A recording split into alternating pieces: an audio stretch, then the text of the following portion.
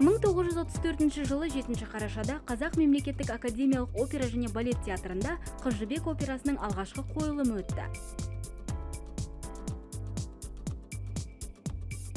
1945 жылы Алматыда Наталья Сац атындағы мемлекеттік орыс академиялық жастар және жасөспірімдер театрының негізі қаланды.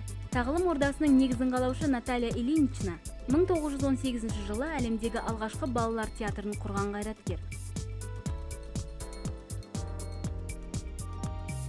Осыдан 101 жыл бұрын батыс арожданы деген атпен танылған француз философы жазушы альбер камю дүниеге келді.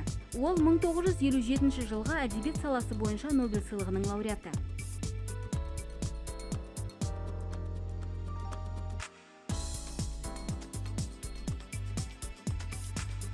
1951 жылы егемен қазақстан республикалық газеті акционерлік қоғамы президенті сауытбек әбдірахманов дүниеге келді.